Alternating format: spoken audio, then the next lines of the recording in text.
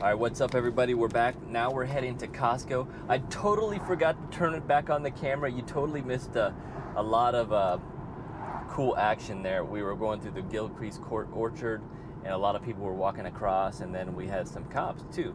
But I look, and my video was off. So we are heading to Costco. We got a couple routes in the destination.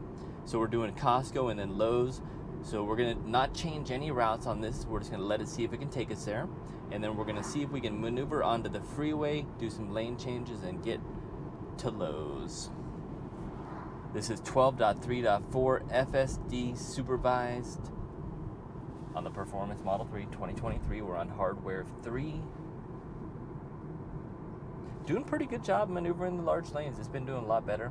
Again, the, the biggest issue I see right now is just the lane changes. It goes for the lane change but doesn't fully commit and then it dri- drives back into the, the, the lane. Kind of a very dangerous behavior. But with the rollouts coming like almost weekly now, they should be able to squash those bugs. Now, are we going to choose the right turning lane or stay in the left lane? It always does a little bit of hesitation here, although the path planning for right now is pretty good, but we're right in the middle of both. It's choosing the left. And that's what I'd ideally always choose. Although I've seen in the past, beta will choose the right lane and then sit here and just let align uh, cars. I'm really not sure if that's programmed in or if it's just going based off other people's behaviors. All right, we got the green and we are pulling out a smooth acceleration out of there, not as fast as uh, other behaviors earlier today.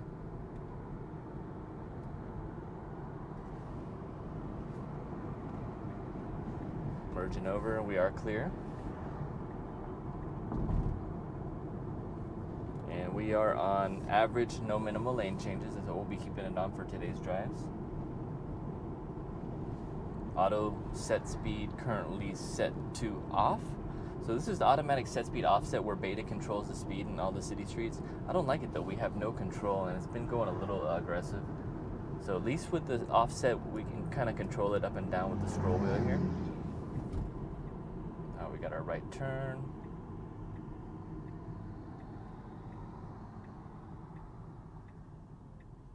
Nice smooth deceleration.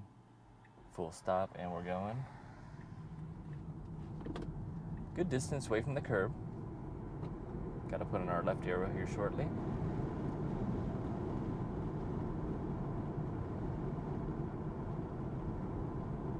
Shortly.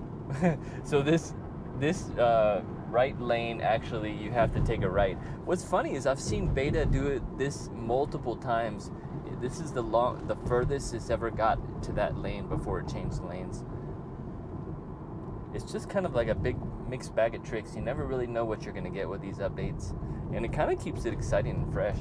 And it's so smooth now that I, I, definitely love using it everywhere. Like, someone, I saw a comment on X the other day talking about, like, why would I use it when I can just drive myself?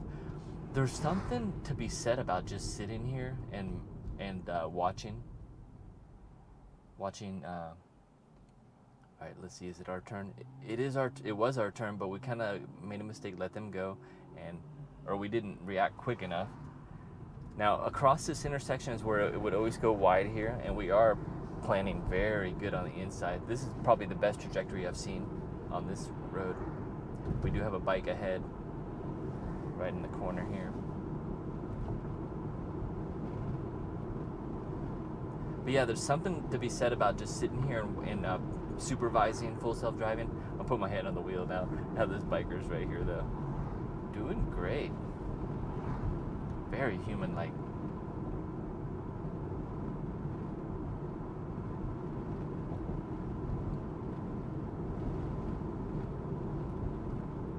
So it looks like we're going to be skipping this stop sign and turning left on it did have some problems right here in this area where the lane kind of shifts and it wouldn't change lanes.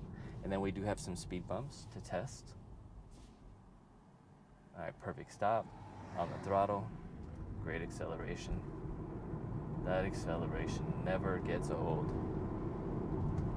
All right, so coming right up here, you can kind of see the yellow uh, line it's gonna curve to the right before we take our left, somewhere about right there. So right now we kind of got to be inching over this way to the right, and we're not. We're okay. So that's a complete fail there. I don't like that.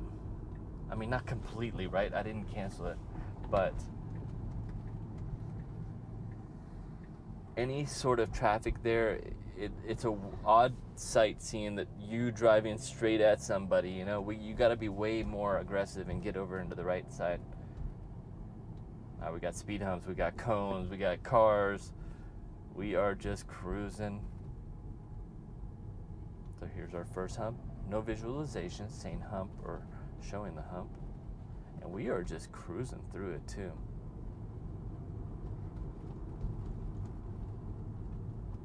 Ooh, way early brake there. It almost braked for the hump lettering and not the hump itself.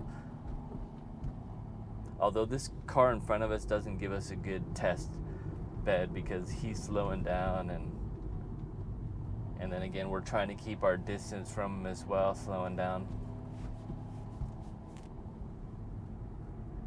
Alright, now here's Costco.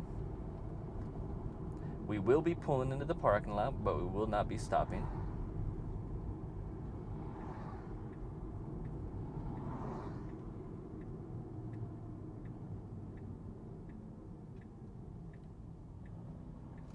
Good distance from the curb. Light traffic here on this Saturday. And we're just kind of inching through the parking lot here. Let's go ahead and edit our route. Cancel Costco. Lowe's is back in.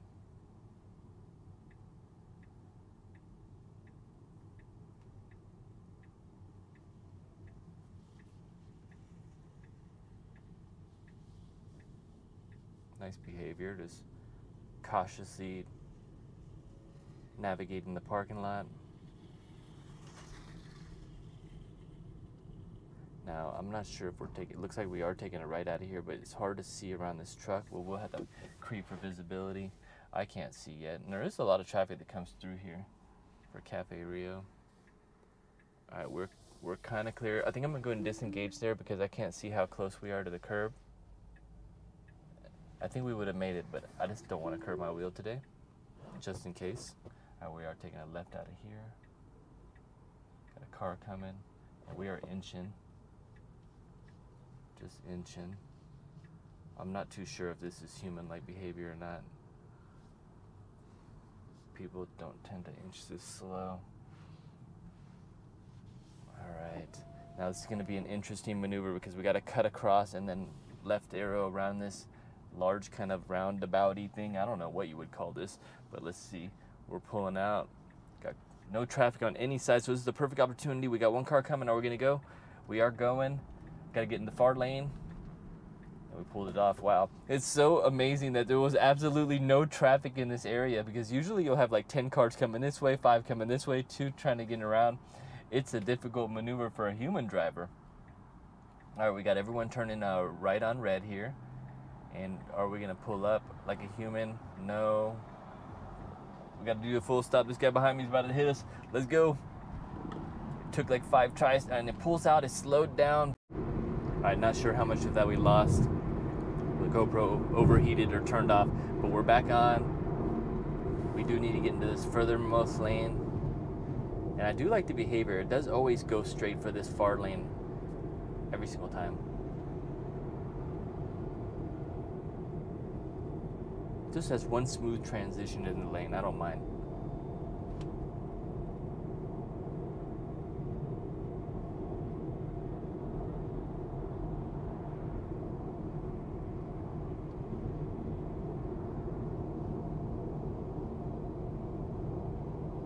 Point two mile. We got our exit or our merge lane into the next freeway. Now, another behavior it does here, it kind of waits too long. See, I, I would have already started merging in, and then it has to kind of auto-correct. You can see it kind of going forward, and then it does some big maneuver like that. I We need to smooth out those lane transitions. Can you believe if those lane, all the lane transitions would be smooth? It would be like people's minds would be blown. That is for sure. I mean, it's already doing pretty amazing at just uh, navigating But if it can just tweak those lane maneuvers,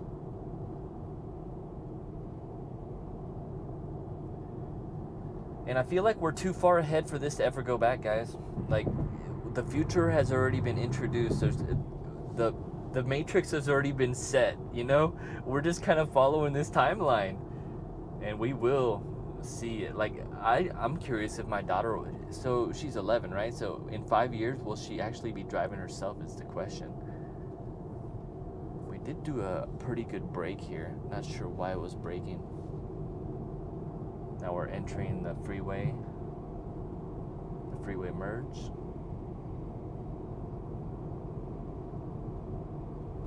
I will say one thing. I think the 12.3.4 is definitely uh, an improvement over 12.3.3, and that is great news because it doesn't feel like it's regressing back any. It's only progressing forward.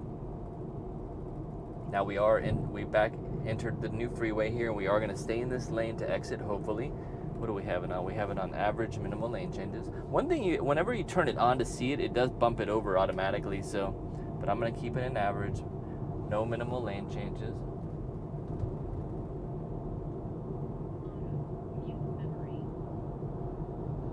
When we do exit here, we'll have to merge quickly into the left lane to make our turn. Choosing the right fork to stay on route, it says.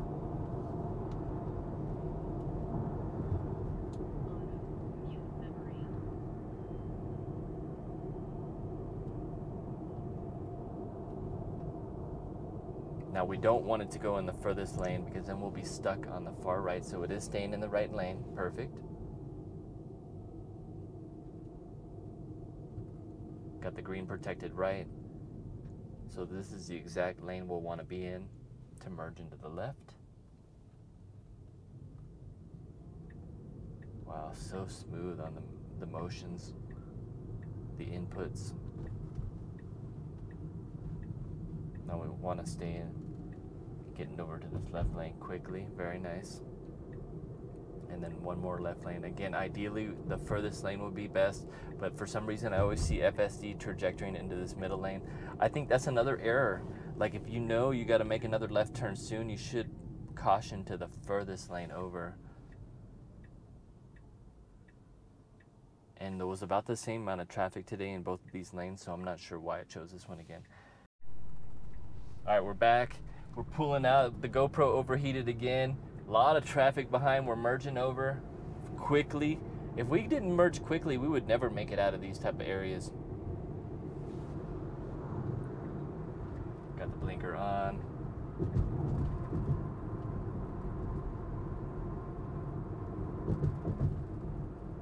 So far, loving 3, 12.3.4. Pretty sweet. I think we'll want to move over into this left lane shortening. It sound, it feels like it's kind of treating this like it wants to move over. It was kind of slowing down. We do have a fire truck up there, so it's kind of like pacing right now. I don't like this pacing behavior because we are in a 45. All right, so it merged very good. I mean, I understand why it was pacing, but you don't want to pace for too long at a slow speed and it changed our route on the fly. Let's see if we can change it on the fly. All right, I changed it on the fly, and we are not taking the left perfect. So it's funny because it gave us this route originally. As soon as we pulled out of the Lowe's, it looked like it rerouted back back to the original route. It always takes us around the other side. But I kind of like this one when that light is red. It gets us into the parking lot quicker. All right, slowing down way too early for this merge. And this is a tight spot to pull in with traffic. FSD's a little bit goosing around on the wheel, just kind of wondering what the hell it's going to do. Oh, kind of, it's kind of cocking to the right now, cocking to the left, and it's doing, oh, I might cancel it. It was going to do a U-turn there. I guess the U-turn was on the route. My, I'm going to say it's my fail for not paying attention to the route on that one. Because it seemed like it wanted to do a U-turn there for sure. All right, guys, that's going to wrap it up. Thank you so much for watching. Leave your feedback down below and we'll see you on the next one.